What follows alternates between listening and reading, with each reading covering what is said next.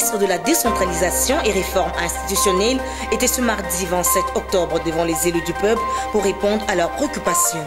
Et puis vu l'approche de festivités de fin d'année, le chef du gouvernement a instruit aux membres du gouvernement de mettre tout en œuvre pour un approvisionnement suffisant. Une caravane motorisée a été organisée ce mardi 27 octobre par la société civile de la République démocratique du Congo en raison de recueillir les signatures pour dissoudre l'Assemblée nationale au regard des crises persistantes. C'est tout pour les titres. Madame, Messieurs, bienvenue dans cette édition du journal sur la scène de l'éducation. Le plaisir est pour moi de vous le présenter à la une de l'actualité.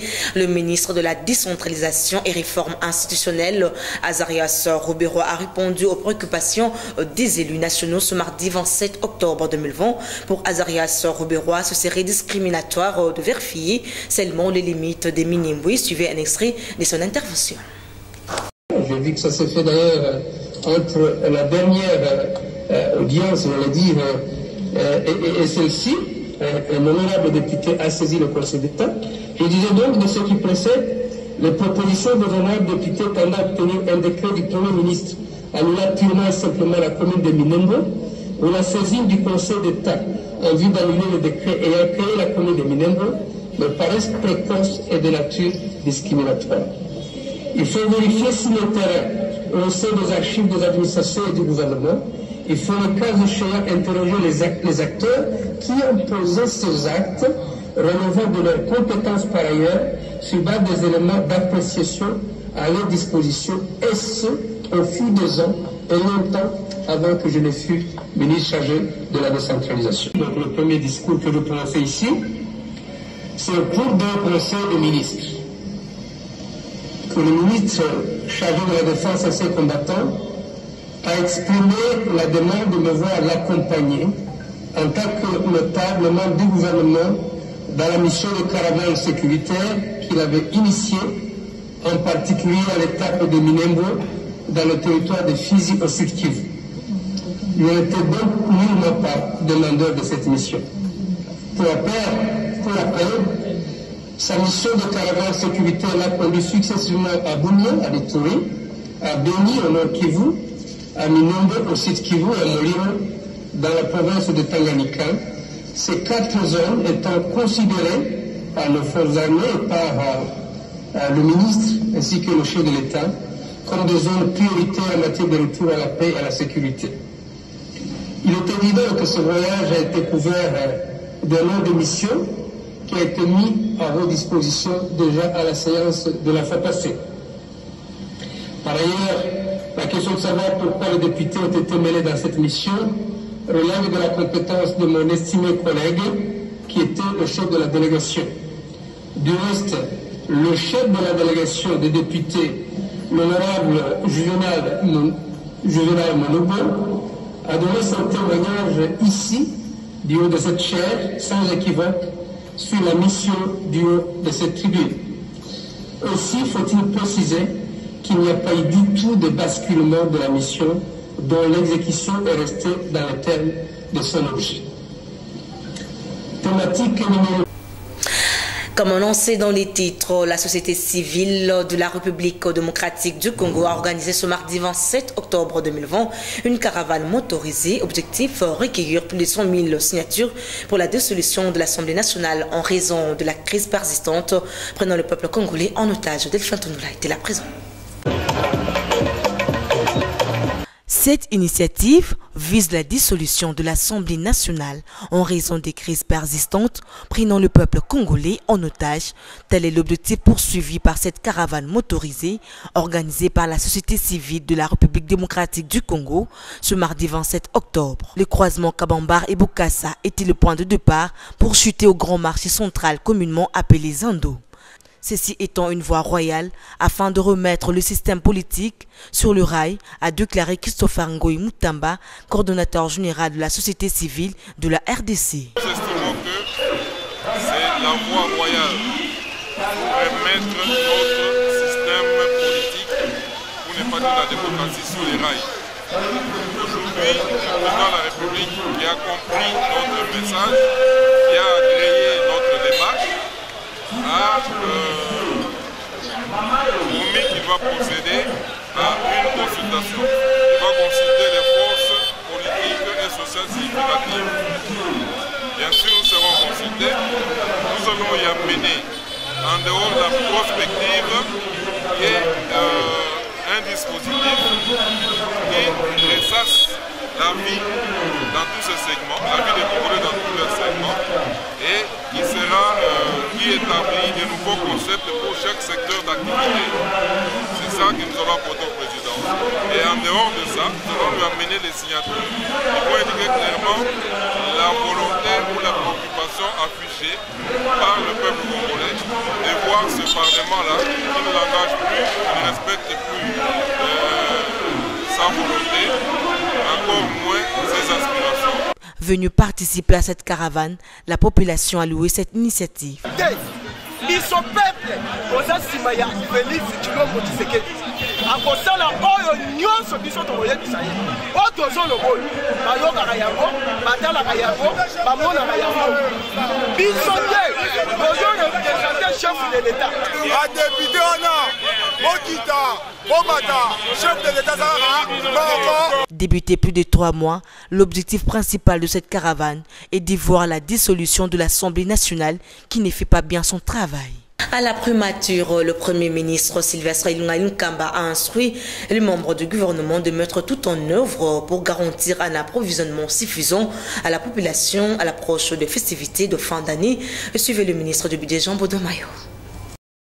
Il ressort de l'examen de ces dossiers essentiellement euh, ce qui suit. Il y a une décélération du rythme de formation des prix intérieurs. Ça veut dire que l'inflation est contenue et il y a aussi une stabilité de taux de change tant au parallèle qu'à l'indicatif, c'est-à-dire à l'officiel. Euh, Tout cela veut dire que les efforts du gouvernement de la République euh, continuent à payer, bien sûr, avec euh, le soutien de l'ensemble de la population, ce qui est une très bonne chose. Nous avons aussi noté euh, par rapport aux festivités de fin d'année euh, que les stocks de certains produits de première nécessité euh, ne garantit pas tellement les bonnes fêtes. Et le Premier ministre a donné instruction aux membres du gouvernement ainsi qu'à la FEC qui était présente pour que tout soit fait pour que les Congolaises et Congolais passent les fêtes de fin d'année dans de bonnes conditions. Sur l'administrateur délégué de la FEC a relevé malheureusement quelques tracasseries que subissent certains opérateurs économiques, ce qui expliquerait euh, cette situation que je venais de souligner. Euh, C'est dans ce cadre que le, pre- le Premier ministre m'a instruit, tant que président de la commission ECOFIN du gouvernement, d'organiser euh, des journées d'échange avec des opérateurs économiques pour comprendre leurs problèmes et essayer de proposer des pistes de solutions au gouvernement. Enfin, la note de Madame la vice-ministre de Mines en rapport avec le secteur minier a renseigné que la production minière se porte bien. Les entreprises minières continuent à produire et à soutenir les bons chiffres. De telle sorte que nos exportations de produits miniers ne souffrent pas. D'autant plus qu'il y a quelques embellis de cours de métaux sur le marché international. Et puis le ministre de la Santé, le docteur Iteni Longondo, a tenu le lundi 26 octobre 2020 une séance de travail autour de représentants de l'OMS, de l'UNICEF, l'OIM et d'autres partenaires opérant dans le domaine sanitaire. Les allégations de certaines femmes ayant presté deux ans à la riposte contre Ebola dans l'est du pays étaient au centre des échanges de précision avec Ginette Pizou. Accompagné de son adjoint Albert Petit Biombo, le ministre de la Santé, le docteur Eteni Longondo, a tenu ce lundi 26 octobre d'une séance de travail à laquelle on prépare le représentant de l'OMS, l'UNICEF, OIM et autres partenaires opérant dans le domaine de la santé. Une rencontre qui fait suite aux allégations de certaines femmes ayant presté contre l'Ebola dans l'est de la République démocratique du Congo.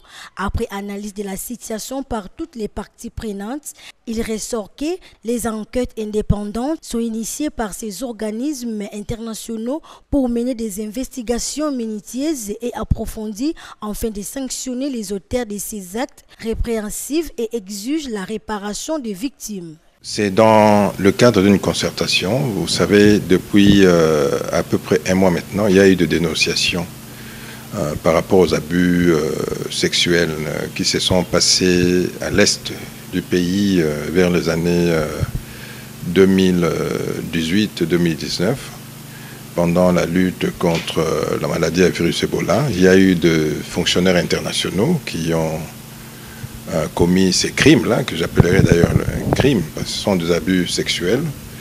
C'est-à-dire, euh, euh, alors, euh, il y a quelques temps, il y a des femmes qui étaient victimes de ces abus ont fait des déclarations. Et nous, au niveau de notre pays, nous nous sommes engagés à poursuivre ces criminels, même s'ils ne sont plus ici, ils sont des fonctionnaires internationaux et nous allons les poursuivre là où ils sont. Et aussi, nous avons appris qu'il y a de, nationaux qui étaient aussi impliqués et ils seront poursuivis. Au niveau national, une commission mixte sera envoyée à l'est du pays pour la même cause car la politique gouvernementale de la tolérance zéro à ces sujets en est une illustration parfaite. D'un ministère à un autre, après avoir séjourné à Saki, Massissi, et Béni dans la province euh, du Nord Kivu, afin de se faire une idée claire euh, du vécu quotidien de la population de ce coin euh, du pays, le ministre des Actions humanitaires et Solidarité nationale, Steve Mikaï, a parachevé le lundi 26 octobre 2020 son périple. Le précision avec Naomi Katako. Le ministre des Actions humanitaires et Solidarité nationale a achevé le lundi 26 octobre dernier son périple de sac dans le territoire de Massissi au nord Kivu. Dans sa caravane humanitaire, Steve Mbikaï a inauguré un pont emporté par le zoo de pluie, réhabilité des écoles et donné des solutions idoines à la problématique des pénuries d'eau potable au territoire de Massissi et Goma. Dans ce ici, euh, sur euh, instruction du chef de l'État, euh, qui m'avait demandé de partir euh, après avoir fini les travaux du pont et puis euh, après avoir assisté la population qui était frappée par les inondations. Aujourd'hui, je suis content en son nom, puis au nom du Premier ministre, j'ai fait le travail. parce que le Premier ministre m'appelait chaque jour pour demander l'évolution des travaux. Donc je l'ai fait sur sa coordination avec les instructions du chef de l'État. Donc aujourd'hui, euh, je suis content de finir euh, le travail de la caravane humanitaire euh, dans la province du Nord Kivu. Et on va continuer avec cette caravane dans d'autres provinces. Parce que notre gouvernement a décidé de rester très proche de la population et partir partout où les gens sont en détresse pour leur apporter une aide humanitaire. Satisfait de ces gestes combien louables, les habitants de cette partie du Nord Kivu remercient le président de la République qui a permis le séjour du ministre des Actions humanitaires soit bénéfique pour eux. Steve Mbikaï a remis ensuite le vivre et non-vivre à la population victime des inondations. Euh, nous venons de remercier en fait le chef de l'État parce qu'en fait, quand il a été informé de la situation qui s'est passée au niveau d'ici à Sake, il n'a pas hésité de venir visiter la population et de voir euh, ce qui est nécessaire pour cette population à ce moment ici de difficultés.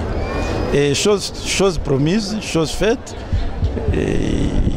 il a songé à la population. nous venons de voir euh, ce qu'il nous a envoyé et nous le remercions beaucoup. Pour rappel, le ministre des Actions humanitaires et Solidarité nationale, Steve Mbikaï, a fait la ronde du Nord Kivu, question de palper du doigt les soucis majeurs de la population de cette province. En éducation, le mot d'ordre lancé à l'endroit des enseignants par le ministre temps en charge de l'EPAST Willy Bakonga en ce qui concerne la reprise des cours de ce lundi 26 octobre 2020 n'a pas été suivi par les hommes de la Crée Blanche de la capitale. Constat de Ginel Pizo et Delphin Tundula.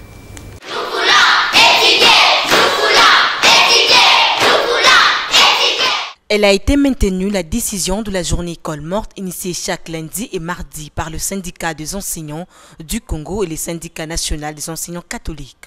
Le constat est fait ce lundi 26 octobre dans quelques écoles de la capitale où les enseignants ne dispensent pas les cours jusqu'à nouvel ordre, explique l'un des délégués des enseignants de Sainte-Marie. Le ministre dit que le cours reprenne, mais le ministre doit se rendre compte aussi que les enseignants ont droit à la vie. Nous sommes dans une ville. Mettez-vous à votre place. Dans la ville, vous devez payer les loyers, vous devez payer les transports, etc. Est-ce que réellement ce qu'on donne comme salaire, ça peut permettre à quelqu'un à bien mener la vie? Le ministre doit se mettre quand même à l'enseignant. Il était enseignant comme nous. Et nous avions applaudi quand on a vu qu'un enseignant devenu ministre. C'était une grande joie pour nous, croyant qu'il pourra plaider, faire la plaidoirie pour que les enseignants se retrouvent.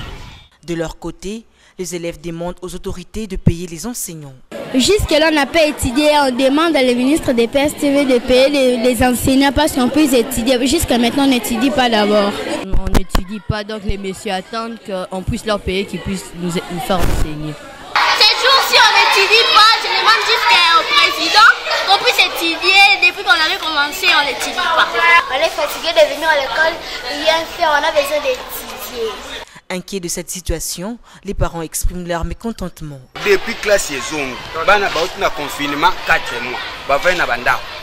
Mais avec beaucoup de regrets depuis bana bazonga. Tosombi bana ba livre, tosombi on sisengeli kosomba tosombi. tozouta na bana bazwi tofuta batransport bana bakoma house me baotanga ata koyabwa avandi ntongo ti poko azongi ata iya pambanaka ya komi te bana bazwi ashi tofuta batransport chaque jour tozocomprendre to juste eza nini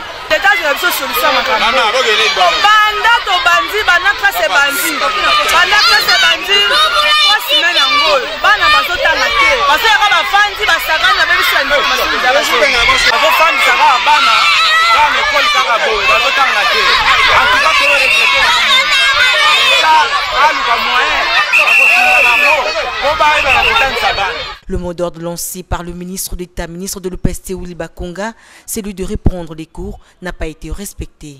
Pour rappel, c'est depuis le 12 octobre dernier que les cours ne sont pas dispensés dans plusieurs établissements scolaires, notamment ceux concernés par la gratuité de l'enseignement de base.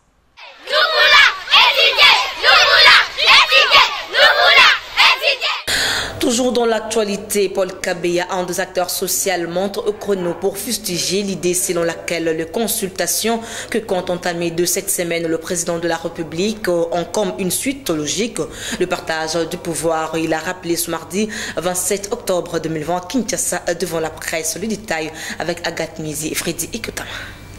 Les consultations que va entamer le président de la République de cette semaine n'en continuent pas moins de susciter débats et commentaires au sein de la classe politique congolaise. Pour Paul Kabeya, acteur social, l'initiative prise par le président de la République va devoir débloquer la crise sociale actuelle dans le pays. Alors j'espère qu'avec cette initiative, peut-être ça sera une remise en question sur les questions de gouvernance une remise en question sur notre propre conscience pour que nous décollions. En ce qui concerne le partage du pouvoir, ces derniers s'opposent. Notre vœu a été toujours que les pouvoirs soient au profit du peuple. Qu'on ne vienne pas partager le pouvoir parce qu'on est dans la logique du ventre, on est dans la logique de se servir. Que le pouvoir serve plutôt euh, à un appel au travail donc, nous ne sommes pas pour le partage du gâteau dans le sens de se servir. Nous pensons que le pouvoir doit être là pour servir. Il s'est de rappeler que le président de la République, Félix Antoine Tshisekedi Chulombo, a promis dans son adresse à la nation le vendredi dernier de prendre des décisions qui n'excluront aucun cas de figure juste après les consultations. Dans le même registre, maître Oscar Beya, coordonnateur de la génération sans impunité, salue la voie choisie par le chef de l'État, celle de consulter ceux qui ont une portion de réponse face à la misère qui frappe les Congolais. Suivez-le dans ses propos recueillis par Naomi Katako une fois de plus. Euh, C'était une joie immense pour la population congolaise tout entière. Le président s'est exprimé avec euh, un ton d'un papa Le président s'est exprimé avec euh, la lyre d'un président de la République qui est l'impérium. Le président a prouvé euh, à la face du monde qu'il aime ses pays et qu'il ne pourra pas accepter à aucun jour euh, céder, je peux dire, les pouvoirs en désordre par une autre personne et le président ne saura pas euh, négocier l'intégralité de notre pays, pourquoi pas aussi la légitimité de notre pays avec d'autres personnes. Personnellement, je trouve que ces discours étaient corrects, meilleurs. Cette consultation est trop pertinente, madame, parce que, vous savez, euh, depuis les élections de 2018, il y a eu euh, une partie euh, qui a contesté ces élections. Le chef de l'État, avec Cash, en coalition avec le FCC, madame, le pays n'avance pas. Le pays est stagnant le social de la population congolaise n'est pas à parler. Vous connaissez ce qui se passe dans notre pays, madame. Alors, le président a trouvé bon d'ouvrir la porte, d'étendre la main vers les autres, afin qu'on trouve le consensus, que le président travaille avec les autres pour le développement, l'avancement de notre nation. Je trouve que euh, l'idée qu'a donné le chef de l'État, c'était une idée géniale que tout Congolais, quand je vous parle ici, tout Congolais est derrière ses présidents élus de la République pour l'accompagner dans cette démarche de consultation. Parlons sécurité où les Koluna seront envoyés à Kanyama KCC où ils iront montrer leur biceps dans le champ euh, du service national. Reportage. Kuluna vont être envoyés à Kanyama KCC. Ils iront montrer leur biceps dans les champs du service national. C'est pour coordonner cette action que le commissaire provincial de la police nationale congolaise ville de Kinshasa a reçu le commandant du service national. Les généraux Silvano Kassongo et Jean-Pierre Kassongo ont entamé des discussions en vue de la matérialisation des instructions du chef de l'État. Le commissaire provincial de la police a porté une oreille attentive et s'est dit déjà disponible pour mettre tout en œuvre. Moi, je suis venu demander qu'ils mettent à la disposition du service national tout ce qu'on a comme Koulouna dans la ville pour renforcer la productivité au niveau du service national. Donc, il s'agira de leur encadrement, de leur formation, suivi d'une certaine professionnalisation au niveau du service national.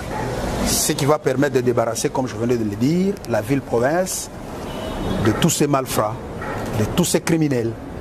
Le commissaire est très disposé, déjà dans les jours ou les heures qui suivent, il va tout mettre en œuvre pour que ces gens soient rassemblés et qu'enfin qu'ils soient mis à la disposition du service national. Le commandant de la ville de Kinshasa, Silvano Kassongo, continue à mener des opérations ciblées en vue d'arrêter les Kuluna et autres inciviques qui sèment la terreur au sein de la population. Il promet de ne pas baisser les bras. Vous vous souvenez, lors de la présentation la fois passée de Kuluna, le gouverneur avait dit que le commandant suprême avait instruit le commandant du service national pour que tous ces jeunes euh, bandits, des voyous qui dérangent la ville puissent aller euh, à Kanyama Et nous sommes dans l'opération Kifagio. D'ici là, vous verrez les choses se concrétiser. Vous verrez tous ces Koulouna aller acheminer à l'aéroport et aller faire le travail champêtre, le travail de développement.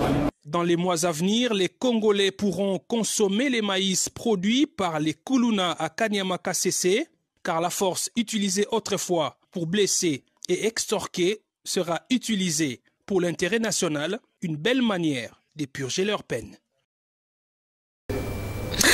Rendons-nous à la Chopo où l'Assemblée provinciale a jugé recevable la proposition des portant lutte contre euh, l'exploitation des enfants en province de la Chopo. Une proposition initiée par le député provincial Théophile Lutika David Salomou depuis Kisangani.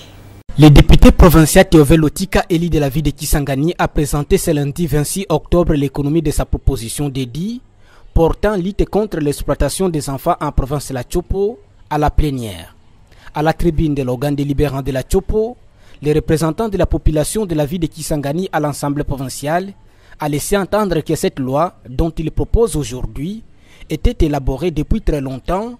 Elle vise à renforcer la mise en œuvre de la loi portant protection de l'enfant en vigueur en RDC en tenant compte des réalités des enfants de la Chopo. Elle va combattre toute forme de maltraitance des enfants. L'honorable Théovelotika donne la motivation de son initiative législative. Le gouvernement central a déjà fixé un cadre. Il, a déjà, euh, il y a déjà euh, une loi portant protection de l'enfant. Mais de manière spécifique, nous voudrions que dans la Chopo, parce que nous en avons compétence, nous voudrions que dans la Chopo, la province de la Chopo, le gouvernement provincial de la Chopo, puisse avoir euh, une politique spéciale et aussi créer un cadre spécial pour protéger les enfants qui sont euh, euh, mal exploités, qui, qui, qui œuvrent dans, dans, des conditions difficiles et qui font du travail, comme nous avons jugé ici, du travail dur, du travail dangereux. Cette proposition dédiée comporte 54 articles répartis en 15 chapitres. Les députés provinciaux de la Chopo ont, après avoir fait des remarques, observations et enrichissements, accepté cette proposition dédiée en la jugeant recevable à travers les votes à main levée. Maintenant, le texte est renvoyé à la commission, comme nous dit son notaire. À l'étape ici, c'est la recevabilité qui a été, elle a été jugée recevable, mais après, ça sera versé à la commission. La commission va faire son travail et apporter les amendements. Mais lorsque nous allons adopter euh, la proposition de nous allons envoyer, à qui des deux cela veut dire, nous allons envoyer la proposition de euh, chez le gouverneur. C'est le gouverneur qui va suivre maintenant, c'est le gouverneur qui va appliquer. Notez qu'après le travail de la commission, cette proposition de dit sera de nouveau présentée à la plénière pour son vote. Et pour clore ce journal, les agents de l'ordre du point chaud Zengaluketu dans la commune de Ngabalons à nord-ouest ont décidé en ce qui concerne l'insécurité. Cet appel intervient juste après l'arrestation d'un voleur réputé dans cette municipalité. Reportage de Sarah Kindila. La police d'intervention rapide commise au poste appelé Zengalukietu dans la commune de Ngaba a appréhendé le lundi dernier un jeune homme d'une vingtaine d'années réputé voleur dans ce coin avec une moto appartenant à l'OMS. Likambo ezali ya ndeko oyo anyokoli bandeko mingi. Ntango nyonso ye koyiba bamoto asilisa bamoto nyonso na ngaba.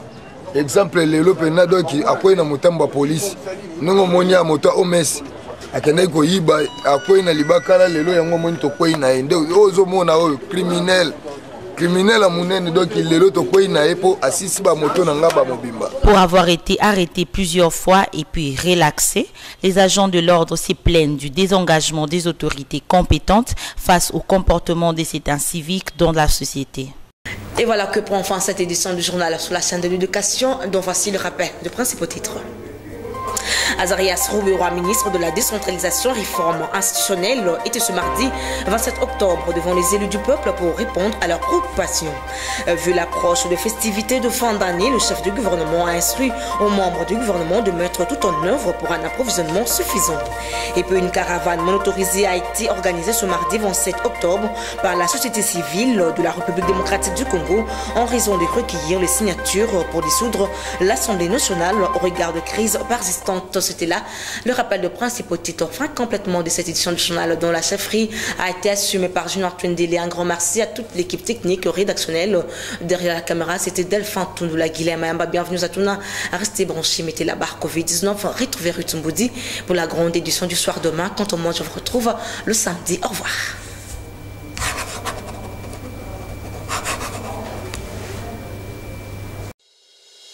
Vous pouvez suivre cette émission en rediffusion quand vous voulez, où vous voulez, sur www.dab.video. Dab.video, le divertissement congolais.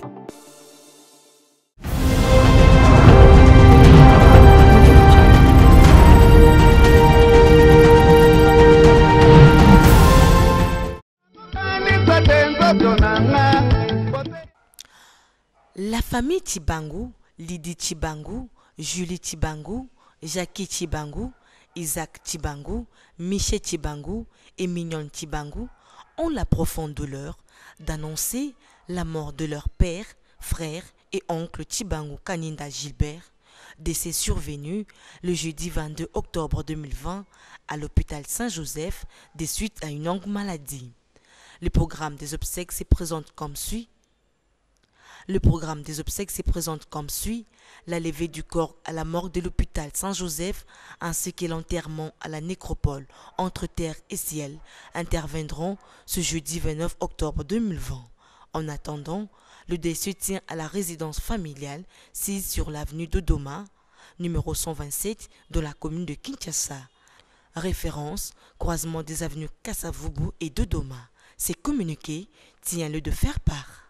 Malawi,